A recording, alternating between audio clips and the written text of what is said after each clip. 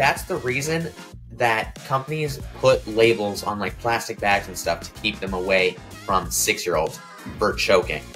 It was that bad. Yeah. Welcome back, everyone, to another installment of the Amateur Sports Focus podcast. I'm Kai. And I'm Frank. And today is probably going to be a very, very football heavy episode as there was so much that went on in the NFL week one. Uh, Yep. Too many bad things in my mind that happened, but I guess we'll get into that. But before we start, make sure that you check us out on TikTok, Instagram. Make sure you follow us everywhere, whether that's YouTube or Spotify, Apple Podcasts, Google Podcasts, everywhere you get your podcasts. So, Yep. what do you want to start with? Let's start with the early slate of games. The the Bengals and the Okay. Steelers. And Well, the actually, no. Hold up. We have to go to the Thursday night. We have to. We have to start with Thursday night. we Ah, didn't even talk about Thursday that night. because we we did not. recorded last Thursday, and Yep. if you guys go back to that episode, my prediction was over four turnovers. I said Matthew Stafford was going to throw two picks, Josh Allen would throw at least one, and there would be a fumble. And what do you know? I was exactly correct. So just throwing Yep. that out there. I did choose the wrong winner of the game, but I still got the turnover prediction correct. I also did choose the wrong winner. I wonder what our record is for picking the teams this week.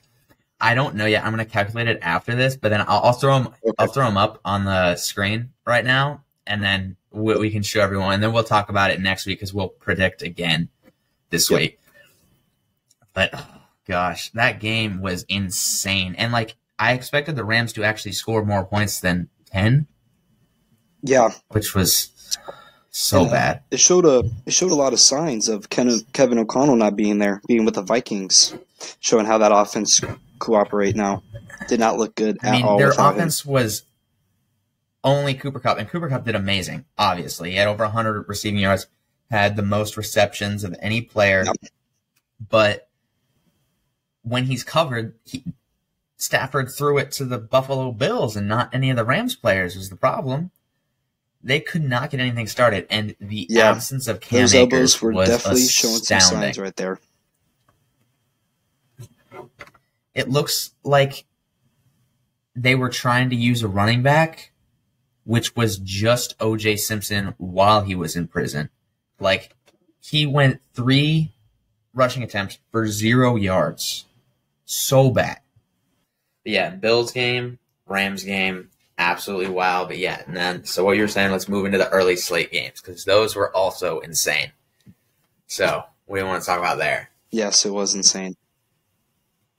I want to talk about uh, the missed snaps and the kicking this whole day. Oh my gosh. The kicking looked, it was like they took six year old soccer players and said, that's a football, kick it.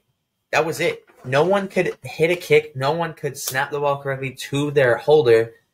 I- could have done better. I, I've never kicked a field goal in my life.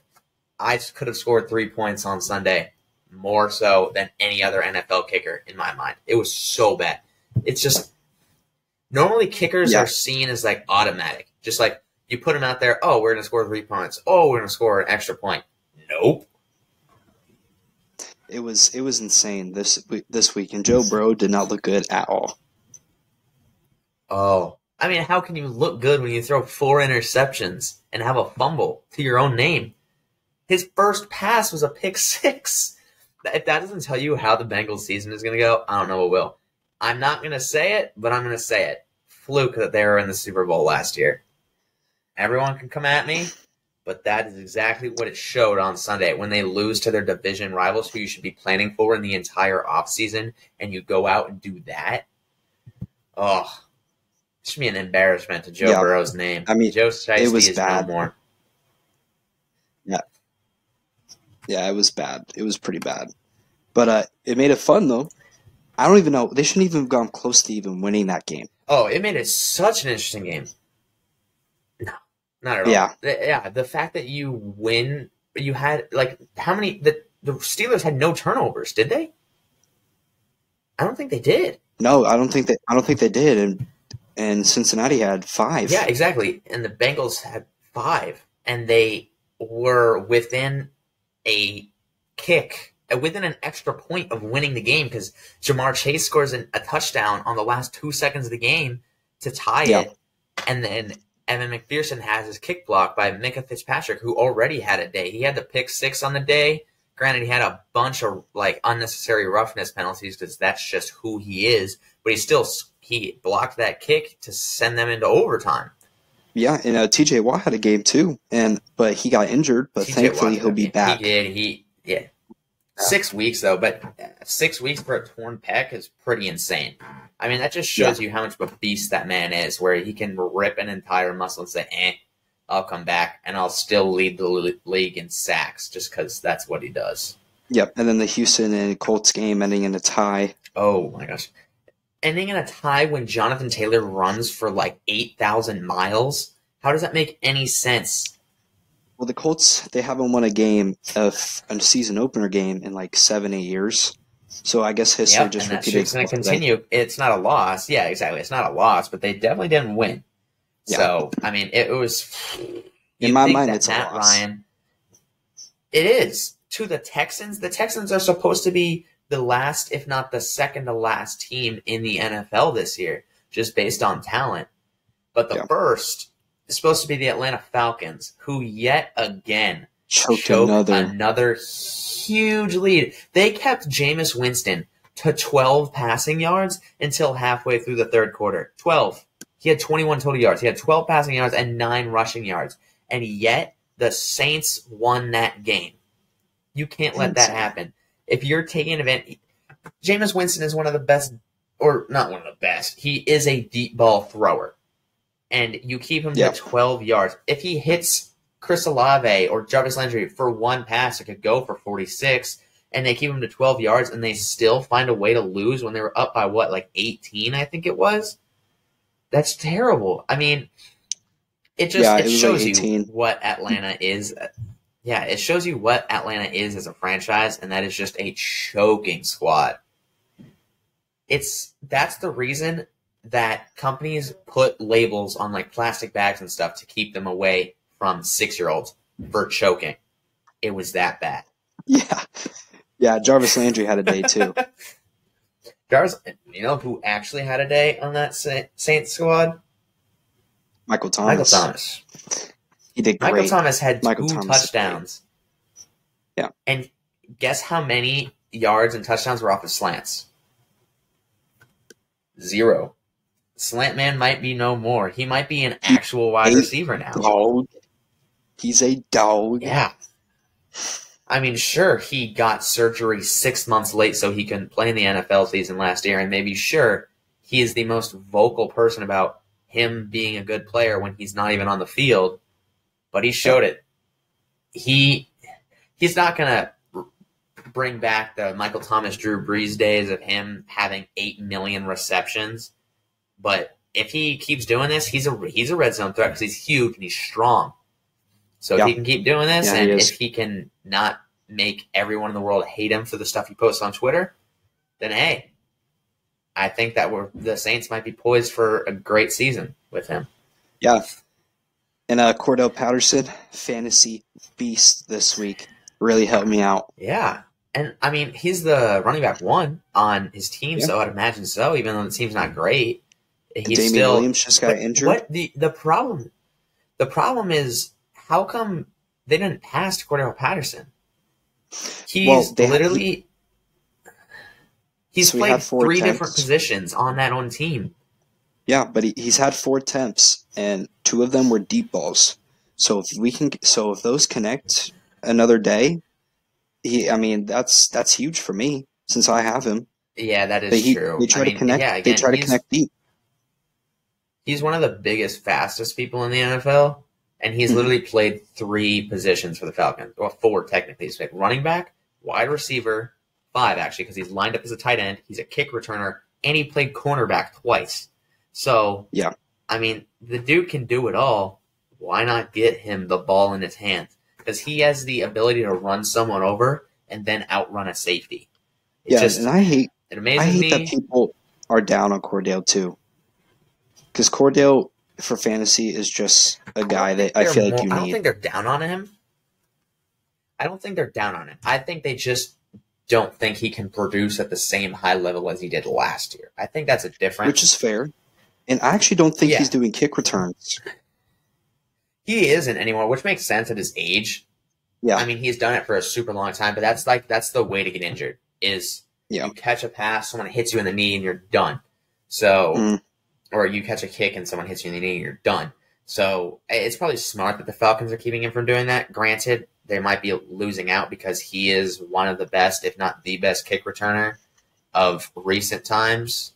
In that, and he was talking about trying to break uh, the record for Devin Hester, and they're not even putting in my kick returner. Yeah, So I thought he was going to play, because and he- he's but he didn't. Their, it's probably because he's their bona fide RB one this year. Like last year, they had Mike Davis to to take some of the early downs, but now that it's just Cordell Yeah. Patterson, because Tyler Algier didn't even play, he was a a healthy scratch. So they literally had no one else Damien to throw out there behind him. So if he gets injured. injured, you're done. Yeah, and Damien Exactly. got So if injured you too. Throw So him out there, you're done. Yep. Smart by them, but then that takes us. Well, actually, no, because were the were the Dolphins an early slate game? Dolphins and Patriots were in the early slate game. Um, Why don't you I take this because that that's your your. Yep. Okay, let's hear it. so I was watching. Uh, pretty good start. Defense looks the same. Uh, they look quick, fast, and they're young. And Xavier That, that Howard still interception in to the end guy. zone was amazing. Exactly. Yeah, Xavier ex- Howard with Xavier the Howard's still that nice guy. little bat into the arms of who was it? That call was a little generous. What's his name again? DeVante, it was on DeVante Yeah. Parker, and it, Jevon Holland picked it off. Von Holland. Yeah, That's what it was. But it it was a pass interference a little bit. Not gonna lie, but it was a good play. And I mean, I liked the defense. Brandon Jones, the best blitzing safety in the league, probably behind Jamal Adams, but a strip yeah. okay, I was fumble about to to say score. Jamal Adams. But Yeah. yeah, A strip fumble to score. he Offense- rocked them. Yeah, he did. Offense looked pretty good.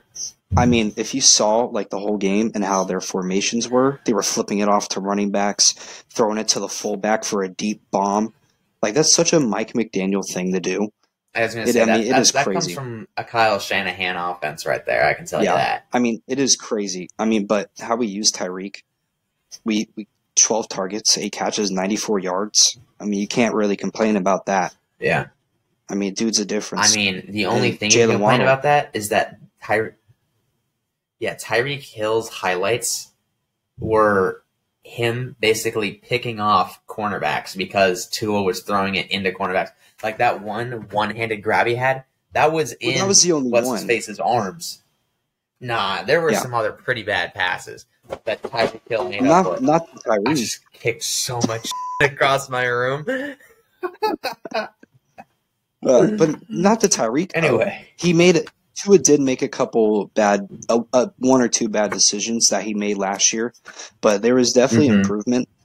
Definitely improvement. I mean, I mean, he seventy finished. He finished the game with zero interceptions, which is Yeah, I mean, he went good. twenty three for thirty three, a touchdown, and two hundred seventy Yeah. yards. I mean, that's a pretty decent game if you ask Yeah. me.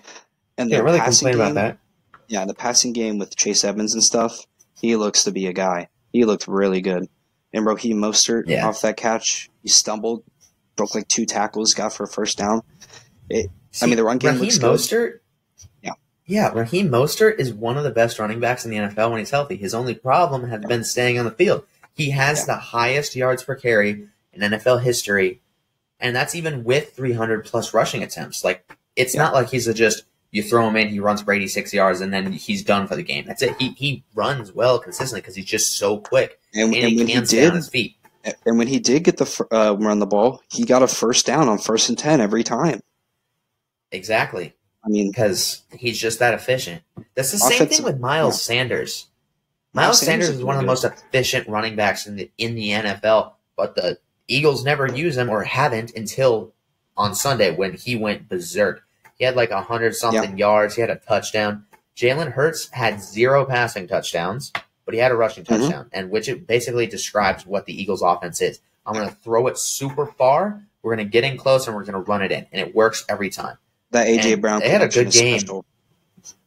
Oh yeah, and every time that AJ Brown catches a ball and breaks six tackles and runs for an extra twelve yards, I always think like, oh, that's just a highlight reel play. That is just AJ Brown.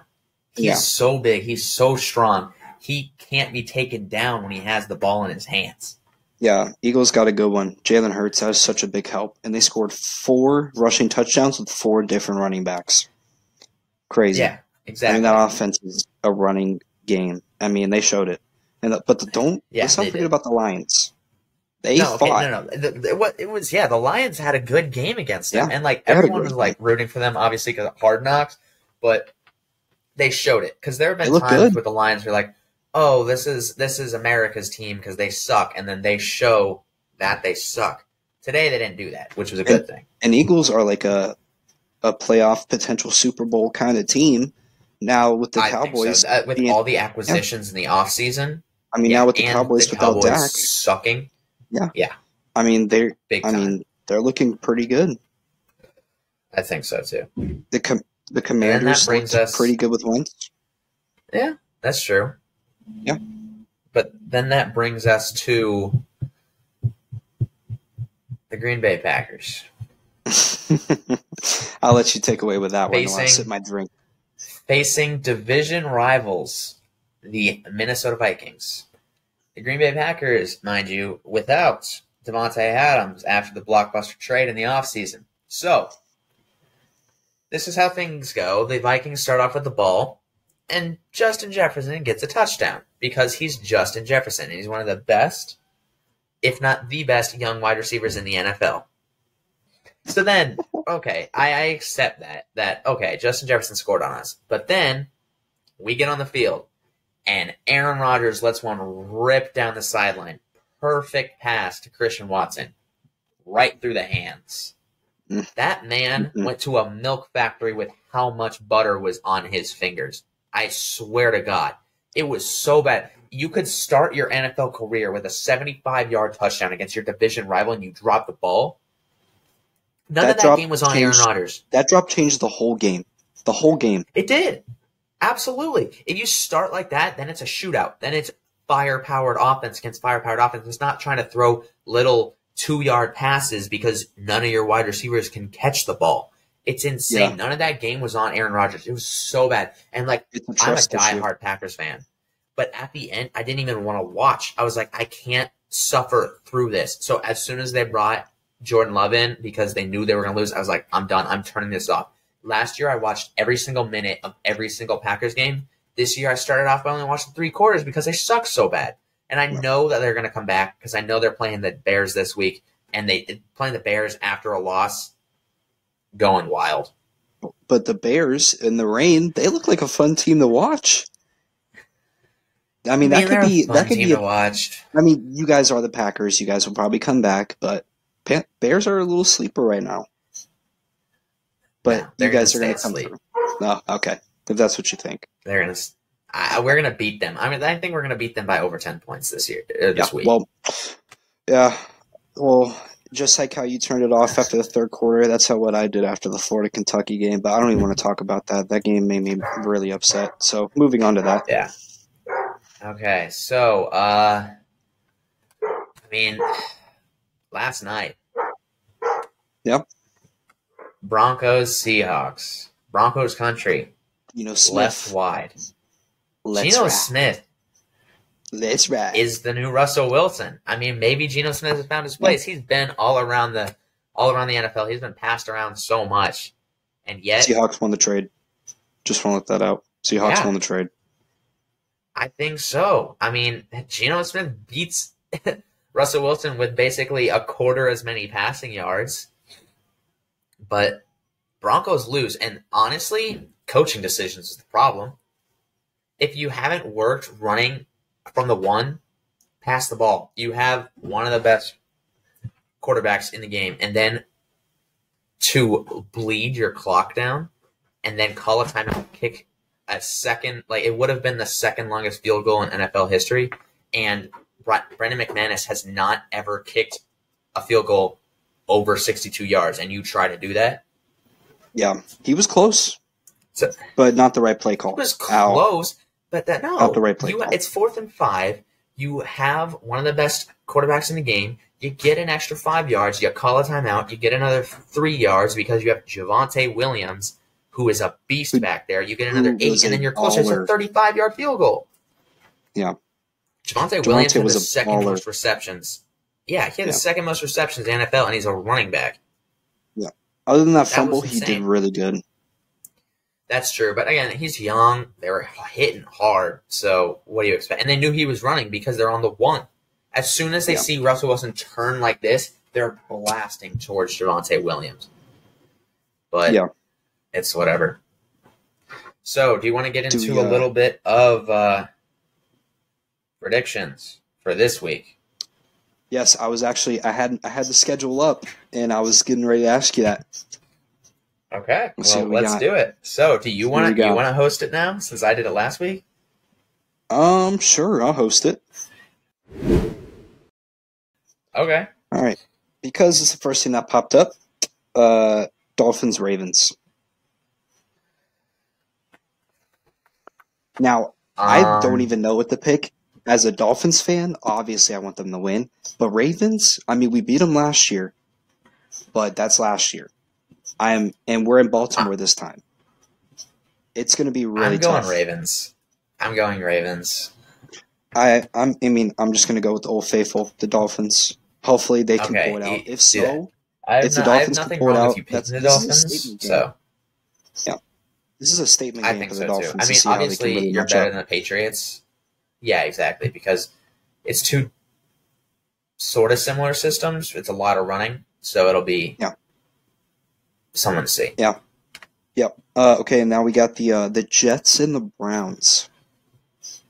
Joe Flacco's quarterback, by the way. Browns. Okay. Yep, Nick I got the Browns too. six thousand yards. and it's Colts at the Jags. Now, if you rem- remember last Colts. year, I know, Col- but if you remember Colts. last year, the Colts. Okay, Jonathan you got him. Taylor is going to injure their entire team. Okay, well, I'm going with the Jags. okay. Now we got Bucks and the Saints. Now we know how these Bucks. usually go in the regular. You still going with the Bucks? oh wait. Oh wait. Good point. It's in New Orleans. I'm going with the Saints. Here's the thing. C.J. Gardner Johnson is no longer on the team, and he picked him off twice last year. So maybe that makes a difference. I'm still. I'm gonna go Bucks just to separate our Bucks? records. Okay, I'm going Saints. Okay. Okay. Now we got the the Panthers and the Giants. The Giants looked really good. Panthers. I know, but Panthers. Well, Panthers? Panthers. I'm, I'm, going gonna go with the Panthers. Giants. It's at Okay. it's at New York, so I'm going to go with the Giants. Yeah, still Panthers. Now we got now this one's a toss up for me. It's the Patriots Mhm. and the Steelers, but it's at Pittsburgh. Steelers. Then I think You got that makes Steelers? the difference. Okay, Yeah. I have Here we gotta Pittsburgh. speed through these. Yeah, I have Pittsburgh because Mac Jones. But even though Mac Jones is going to be good, and Bill Belichick is the coach, so okay. Yeah. And now we got the four o'clock games: the Falcons and the Rams. Rams. Definitely. Rams, yes. Rams by fifty. and yep, Texans and Broncos. Broncos over the Texans. I know they didn't have a great showing, and but they did. Just but Broncos. I got the Broncos, and we got the Cardinals and the Raiders. Cardinals. I think. Well, yeah, Cardinals. That's in my mind. Okay, I got the Raiders. It's at Las Vegas. Just to let you know. Yeah. Okay, now Not that much this one, advantage. I think this one's a little bit easier now. But if Dak was still playing, it's the Bengals and the Cowboys. Okay. Bengals. Whoever is the not the Cowboys. Cowboys are terrible. And do I even need to say which one? The the Bears or the Packers? Packers. I'm going with the Packers as well. And then the Monday night game, the Titans and the Bills. I got the Bills, Bills. Bills. and then the 100%. Vikings and the Eagles. It's a two Monday Uh, night game. Vikings. I think. Yeah, I did. I did see that, but I think the Vikings. I don't want to bandwagon them. I hate have the them, Eagles. but the Vikings are going to win. I have the Eagles. It's going to be a high scoring game in my opinion, but and it's at Philly and Jalen Hurts and AJ Brown. Mm-hmm. I like where it's going, Got you. and that is well, it with the I mean, we'll for this see. week. Nice. So Yeah, this has been another installment of the Amateur Sports Focus podcast. I'm Kai. be. Now, Frank, So be sure to a good week follow us everywhere. next week's good. It was great. I think so too. Be sure to follow us everywhere: YouTube, Spotify, Apple. Podcasts, everything. Yeah, I think that I, I won all four of my matchups this week, but time to send it off. So have a good week. Peace. Peace.